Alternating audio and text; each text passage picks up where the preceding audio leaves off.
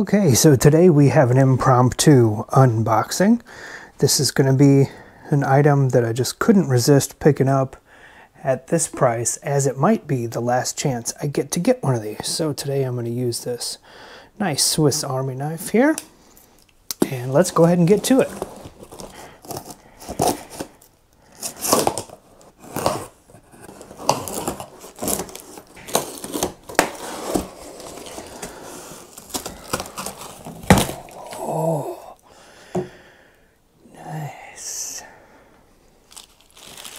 Okay. First we have a sling. That's nice.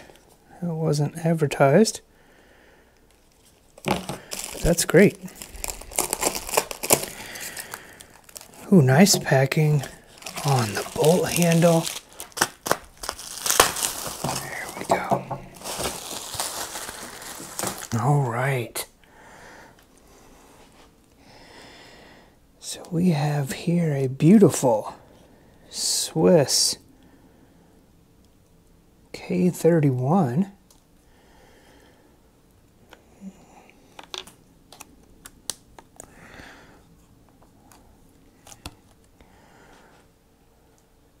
It looks to be in pretty good shape.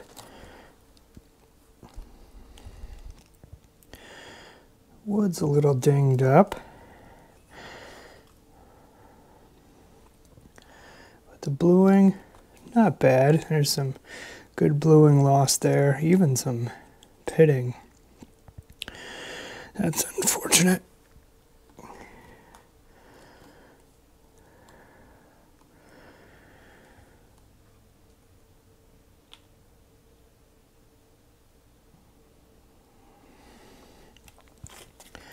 Good gouge there. Of course, these come with no magazine chamber flag. It was packed well. All right, well, we got it down on the bench. Let's take a closer look. First of all, this sling that was included, I didn't see this in the listing. Saw some other people got one. Here's how it's looking. It's gonna need, it's a little bit dry. need some TLC, but that'll clean up good. And actually there's a Swiss marking here. And uh, that's just pretty cool. Seems in good shape. This is just the import tag, Centerfire. This is my first order with Centerfire. Let's take a closer look at the rifle, the carbine itself. I was a little upset when I first saw this crack here, but I think that's repairable. And some of these scuffs, uh, there's nothing I can do about that one but there's a few other dents here that could possibly steam out. And this barrel band was a little bit loose, so I'm wondering if somebody tightened it too tight, caused that crack there. But um, let's take a closer look. All right, let's take a look starting from the back.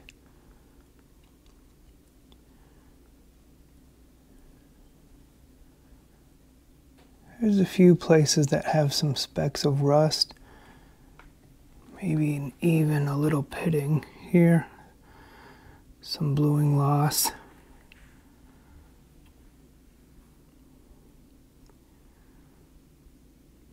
Beautiful crest there. Matching barrel.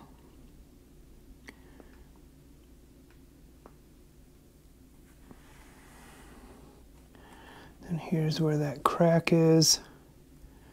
Some of this just looks like dings and dents, and that some of that dark spots will come out. A little bit of rust and some bluing loss on the muzzle end there. Some more of that gunk.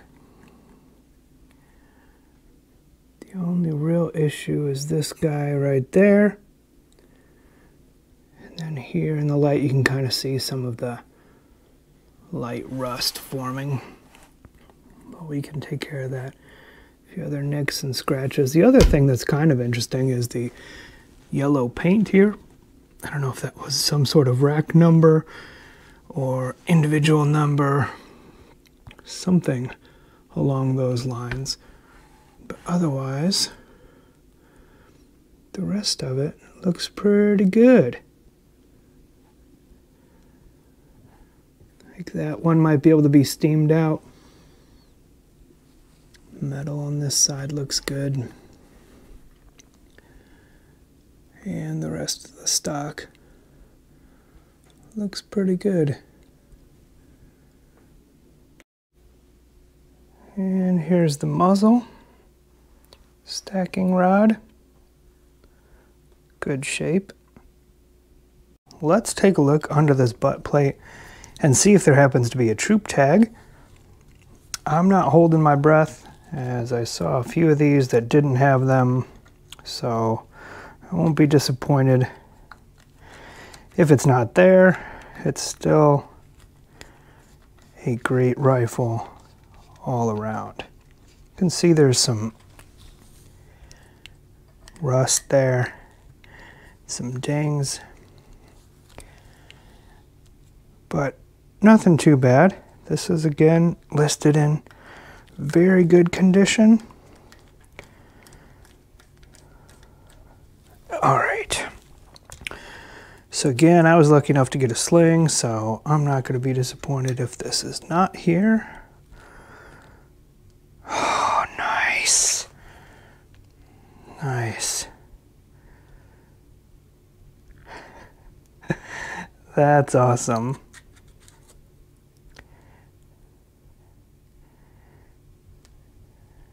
That is awesome. Okay. Man, I lucked out on that one, huh? While we're under here. Looks like V54. Man, that is cool. Fritz. This was once your rifle. I'm sure you looked after this really well. So I'm going to leave this under here where it belongs. It's not doing any harm. I am going to come back and uh, clean up this butt plate, but for now it's going to stay under there so that if this ever leaves my possession, it will be there where it belongs for the next person. Okay, so we got it out of the stock and it's all good things underneath here. No pitting, no rust even. And I just wanted to get you take a look at that beautiful bluing. It's hard to tell in these video lights, but it's absolutely immaculate until you get towards the muzzle. But it's just so nice to pull something out of the wood and see just pristine bluing. That's so cool. Anyway, everything's looking good in the stock and the handguard. The stock is a matching number to the barrel and the receiver. Same with the upper hand guard. So that's all good. Minus my fingerprints. And bluing is just spectacular underneath there. And I've never owned any Swiss firearms, so these inspector marks and proof marks are really cool to see. Never seen any of these before in person. Beautiful crest there. A little bit of freckling, but we'll take care of that. Again, the barrel matches the receiver. And just beautiful under here. No issues, no rust, no pitting. All around very good. And finally, what had concerned me this crack here on the top handguard. You run your fingernail across it, it gets caught. So I was concerned that was a pretty good crack. However, we go underneath, and see that doesn't go all the way through. So possibly it could be just a big gouge and then it filled in with some dirt. So you can see some oil spots here and here and also here and here. So we'll go ahead and get this nice and cleaned up and see how it's looking. But this is promising that it's not cracked all the way through. That was concerning to me, so overall that's a great sign. We might as well take a look at the bolt. Here's the bolt face. Man, so cool to just study a new system from a different country, different engineering. Straight pull design isn't one that I've ever had a chance to work with. So just all around very cool. And I love these kind of moments. And lastly, before we get this cleaned up, look at this beautiful two-stage trigger. One, two. Oh, that's so nice. And it feels about three, three pounds, somewhere in there. We can get a gauge on it though, but man, it's really nice. Man, I can't wait to shoot this thing. See what kind of accuracy we can get. All right, let's get it cleaned up. All right, we got her all put back together. And the more I spend time with this rifle, the more that I really just love it so much. The quality of this is just outstanding. And although this might not have been, you know, the bargain of a century, it just, I'm so glad that it forced me into Swiss products because I can tell that I'm just going to be hooked from here on out. So um, this is just fantastic. Um, I was able to source a couple other parts like an original magazine here, which isn't matching to the gun, but I was able to pick one up before they got sold out. In addition to the magazine, I picked up a aluminum muzzle cap, which is going to be really nice to help protect that beautiful crown that's in there. I also picked up a red stripper clip of the training rounds, which is nice. So six individual weighted rounds, which is nice. As well as a original cleaning kit, which is cool because it has some of the original grease in there, two cans of it actually, so I still have a little bit that I can use. And some other tools as well as the pull through. So that's great to have some of these original items back along with her. And as I mentioned, it did come with this very nice sling, which after some conditioning turned out really well. I am going to try and source a period correct version for this rifle itself. Based on the serial number, this rifle was produced in 1950. This sling is dated to 1938, so I will try my nerdy best to pick up a sling that matches the date of this rifle, which will be really nice to have. Okay, and real quick, I just want to show you a couple different resources. Since this is a new platform to me, and Swiss firearms are new to me in general, I wanted to pick up a couple things to help me understand a little bit more about them. So the first one was this book by the For Collectors Only series from North Cape Productions. Um, it's a pretty good introduction to a lot of Swiss long guns, including the K11 and other things. My only complaint with this book is, again, similar to the other how the other ones are organized, which is they're not organized by model type. It's sort of, here's the bolt system for all the different models. Here's the, you know, magazine markings for all the different models. So it's a minor complaint, but um, otherwise this book was 20 bucks and well worth it. Plenty of good information on the K31 in here. So I found that very helpful. And secondly, this is just a translation of the Swiss manual for the K31 as well as the K11. And I found this online and just printed it off since I'm a hard copy kind of person. But what I'll do is I'll put a link to the PDF or to the web address down in the description. You guys can take a look. I found a lot of good information in here um, about zeroing and maintenance and just general overview of the system from the Swiss themselves. So that's always helpful.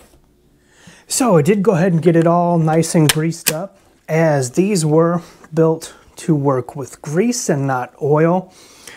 So she feels really good and is nice to have some of that old grease cleared off of there.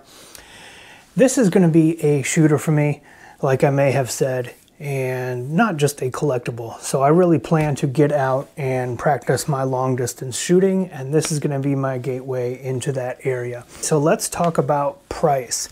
Now what initially attracted me and many others to this deal with Centerfire was the 399 price tag for their 30th anniversary sale. Now we have to be honest with ourselves and say, what does this come out to in terms of overall price? If you're looking at purchasing an original magazine for this carbine, you know those are going to run at least $100. If you can find a reproduction magazine, the Keep Shooting mags were about $50, $60, and those are long out of stock, especially with all these new K31 owners. So, in terms of the overall price, you know, I'm looking at $540 altogether. Now, Edelweiss Arms has quite a few beautiful K11s, K31s that you can pick out around that price that will be matching. Now, I'm only throwing that out there to play the devil's advocate here. Um, am I upset that I went this route? No, not at all. As I said before, this got me into these Swiss arms and I am just ecstatic. I can't wait to get this out and shooting it. So, um, but we just have to be realistic with ourselves and see how much we're gonna spend to end up with a mismatched gun. People love to say all matching except it's either all matching or it isn't. And in this case, it never will be unless I can find that very specific individual who happened to get the magazine that belongs to this. Speaking of which, if you have rifle or carbine number 794759, I have your magazine. Get in touch with me and I would love to send this back to its original home. So anyway, it's just important that we're honest with those kind of questions and what we want out of the deal, that kind of thing. So again, this was my first order with Centerfire Systems and it was fantastic. And now I will never hesitate in the future if they get something in that I need for the collection, I'll pull the trigger on those right away. This came out really well. I did not do a whole lot of work to it. Um, this, what I thought was a crack in the beginning, turned out to just be a big gouge there. Quite a bit of this oil came off the fore end here on the top handguard. There's some pretty good bluing loss up here, but that's to be expected. And again, this is gonna be a shooter for me, so having a safe queen is no fun, because then I feel like I can't get it out and I can't enjoy it and play with it because I'm too afraid to make any marks on it. So this came out really good. There was some light freckling on top of the receiver here, and most of that, all of that is pretty much gone. And um, I might do once over on the butt plate. This was the roughest condition of the whole carbine, but that's something I can continue to work on.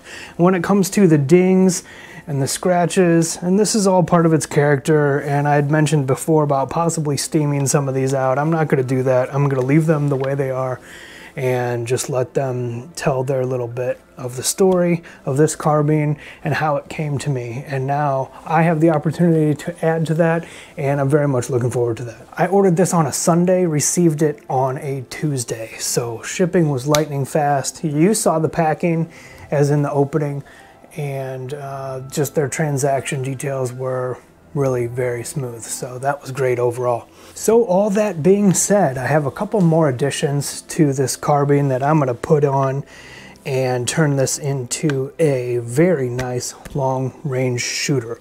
None of which are going to be any permanent modifications as I plan to leave this in original condition. But I plan to have a future series of videos about this, so I look forward to doing that. So lastly, I just want to say thank you to all the people who I've met in the comments section and fellow YouTubers so far in these last few months. You've shared your information and your knowledge with me, and I really do appreciate that. It's been a great learning experience. So that's going to be the K31 from Centerfire Systems for their 30th anniversary sale. Just want to say thanks as always for watching. Appreciate it. Until next time, keep your finger off the trigger. We'll see you later.